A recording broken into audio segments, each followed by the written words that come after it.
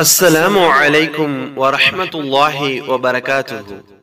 அன்பார்ந்த சகோதர சகோதரிகளே தினமும் ஓர் ஹதீஸில் இன்று நாம் பார்க்கவிருக்கும் செய்தி அகிலத்தின் அதிபதியாகிய அல்லாஹு சுபஹானு தன்னுடைய அடியாறுகளுக்கு மத்தியில் பல்வேறு ஏற்றத்தாழ்வுகளை ஏற்படுத்தி இருக்கிறான் காரணம் இந்த உலகத்தில் வாழக்கூடிய மனிதன் தன்னுடைய இறைவனை அதிகமாக நினைத்து பார்க்க வேண்டும் என்பதற்காக.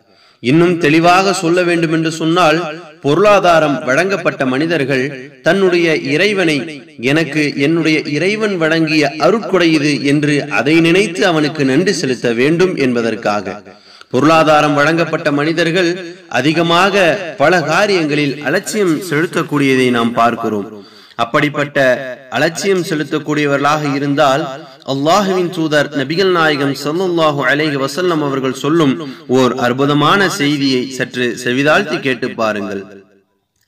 நபிகள் நாயகம் சல்லல்லாஹு அலைஹி வசல்லம் அவர்கள் கூறினார்கள் மறுமை நாளில் அல்லாஹ் ஆதமின் மகனே நான் உன்னிடம் உணவு கேட்டேன். ஆனால் நீ எனக்கு உணவளிக்கவில்லை என்பான். அதற்கு மனிதன் என் இறைவா நீ அகிலத்தாரின் அதிபதியாய் இருக்க உனக்கு நான் எவ்வாறு உணவளிக்க இயலும்? என்று கேட்பான். அதற்கு அல்லாஹ் உனக்கு தெரியுமா? உன்னிடம் என் அடியான் இன்ன மனிதன் உண்பதற்கு உணவு கேட்டான். ஆனால் அவனுக்கு நீ உணவளிக்கவில்லை. தெரிந்து கொள் அவனுக்கு நீ உணவளித்திருந்தால் அதை என்னிடம் நீ கண்டிருப்பாய் என்று கூறுவான் என்று நபிகள் நாயகம் சல்லல்லாஹு அலேஹி வசல்லம் அவர்கள் கூறினார்கள். அறிவிப்பவர் அபு ஹுரைரா ரலி அல்லாஹு அன்ஹு நூல் முஸ்லிம். அன்பானவர்களே நாம் இந்த உலகத்தில் நம்மால் இயன்ற அளவிற்கு நம்முடைய இறைவனுக்காக பிறருக்கு உணவளிப்போம் பிறருக்கு உதவி செய்வோம்.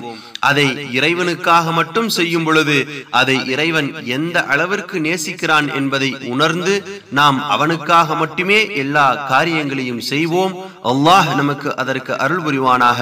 அஸ்ஸலாமு அலைக்கும் வரஹமத்துல்லாஹி வபரகாத்து